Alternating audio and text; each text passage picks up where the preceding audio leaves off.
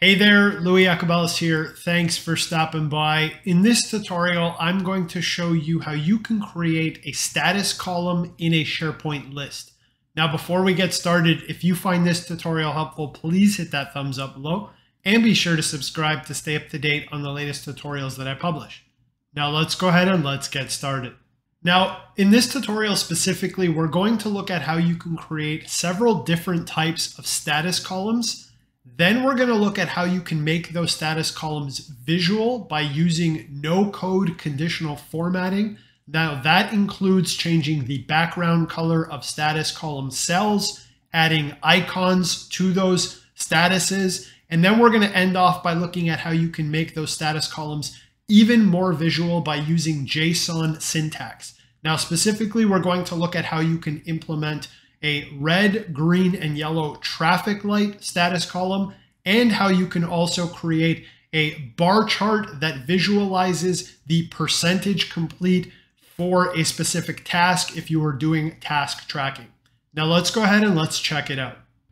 All right, now to add a status column to a SharePoint list, you want to click on the Add Column dropdown, and next you want to click on Choice, so in this first example, we are just going to create a basic status column that is a choice type column. So we'll go ahead and call this status. Next, you want to scroll down and you want to add the different states or status values into these choice options. So you can just click into these pills here and you can go ahead and put in your states. Now I'll just add backlog, work in progress, and then I'll put one more that is completed. Now you also have the option of changing the color of these options by just clicking on the little color palette icon.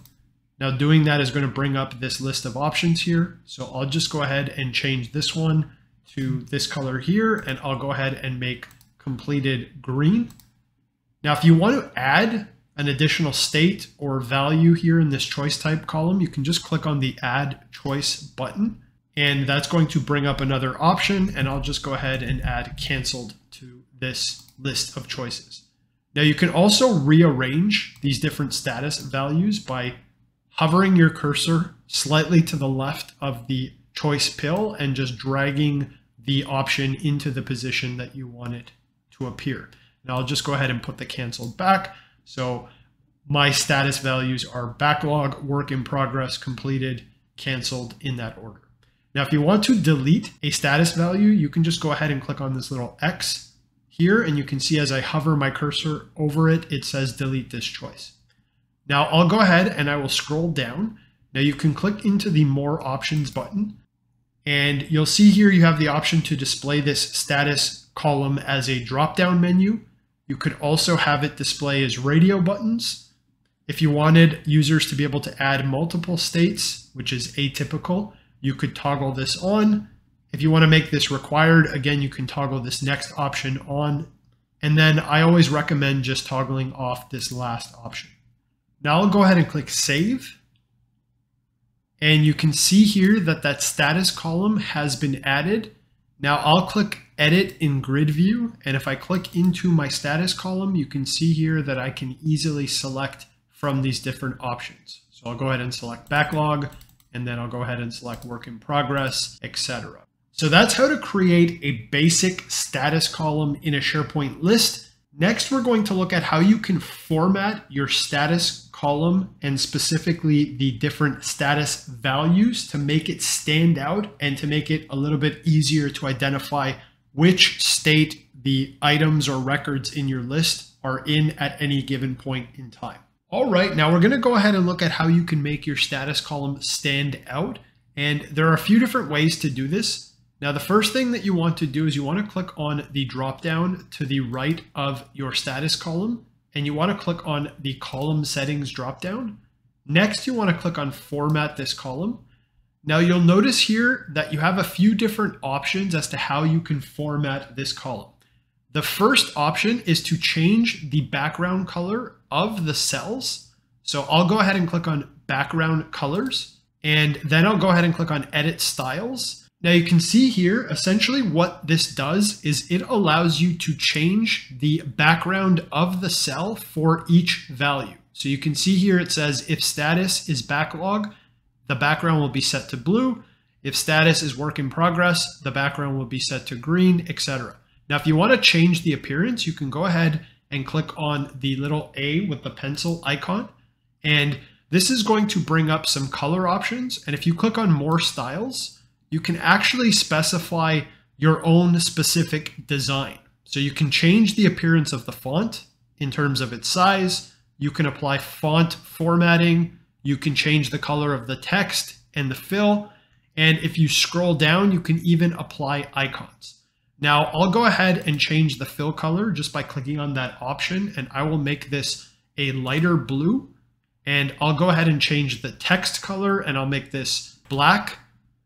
And if I scroll down, what I'll do is I'll go ahead and select one of these options here. So I'll just select the up arrow, for example, and you'll notice that I can even change the color of this icon. So I'll go make this red by selecting that option. And if you want to change the alignment of that icon, you can go ahead and do that as well. Now I'll just scroll up and so you can see it's added that arrow. And again, if I change the alignment left, it's going to put that arrow on the left-hand side. So background color allows you to customize the background of the cell for your specific options. Now I'll go ahead and click save and I'll click close. And so you can see here uh, that the background is kind of highlighted. And if I were to add additional status values, you can see here that the background again is a different color. So that's one way that you can make your status values stand out. Now, next, we're going to look at a different way to format the column. So again, you want to click on the status dropdown and you want to click on column settings and then format this column. And next, we'll look at the choice pills. So this essentially allows you to customize the actual status options themselves. So if you click on edit styles, you can see here again, similar menu if status is backlog. And this time it's referring to the actual little oval that the text is captured in. So you want to go ahead and click on the A with the pencil icon and click on more styles. And again, same idea, you can change the color palette of your choice pill. So you can see as I click on that color palette, it's actually changing the color within the oval. You can change the font, customize that to meet your specific requirements. And again, you can also apply these different icons if you wanted to. So I'll just go ahead and select the progress icon and I'm going to go ahead and click save and I'm going to click close. And so you can see here that I was able to customize the actual choice pill for that specific option. And you can do that to all of the different options to help make those status values stand out. All right, now there's one additional way that you can make your status column stand out, and that is by formatting the column using JSON syntax. So JSON is a type of syntax or you know code, if you will, and you can actually grab pre-built code that is specifically designed to add different visualizations to your SharePoint list now I've included a really useful link in the description below that you can look at and you can actually see some of these pre-built visualizations. And I'm also going to be including the specific links to the ones that I demo here so that you can also just go grab that syntax and apply it in your SharePoint list.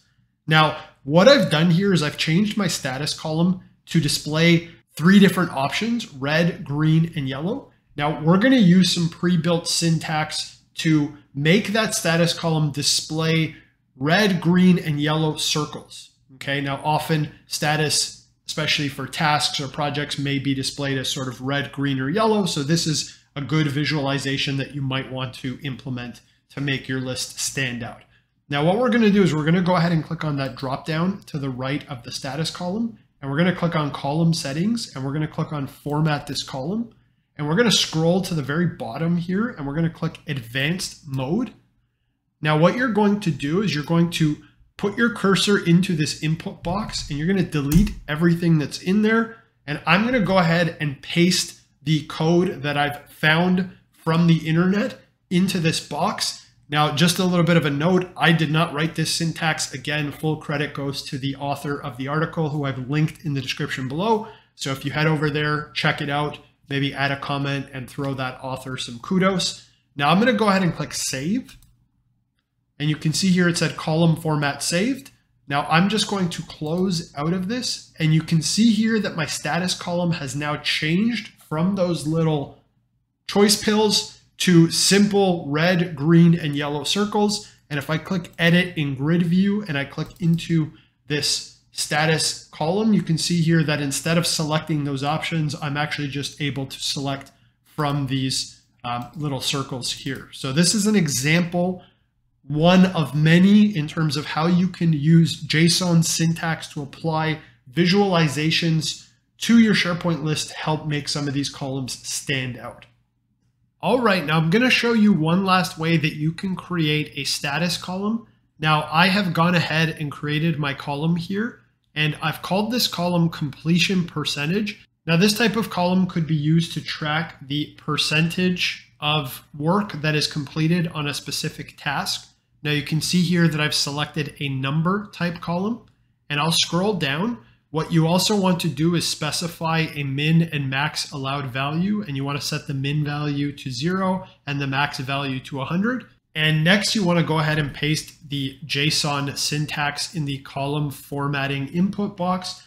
Now, an important note, I've included a link in the description below where you can go and grab the specific syntax that is being used in this tutorial. Next, I'll click on OK. And next, I'll click on the name of my list. And you can see here that that column has been added. Now, when I go ahead and click Edit in Grid View and I enter a value into these fields here, what you're going to notice is that they will update and what they'll do is they'll actually show a bar chart inline in the cell. Now what you're seeing here for some reason is that the decimal placement is not lining up. Now, I have experienced issues from time to time when using these pre-built JSON syntaxes. So you can see here that I have set my values to be in decimal format. And when I do, you can see that the fields will update and display the bar chart accordingly. So you can see that 50% represents approximately half of the width of the cell, 25% a quarter, 47%, etc. So this particular syntax is intended to show the value that has been entered in a bar chart that will shade an amount of space in that cell that is proportionate to the actual value.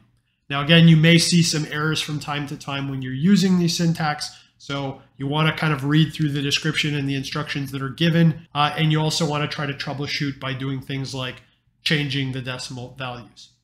So that's it. In this tutorial, I showed you how you can create status columns in a SharePoint list. I also showed you how you can make those status columns visual using built-in no-code conditional formatting. And then we also looked at how you can make your status columns visual by using JSON syntax.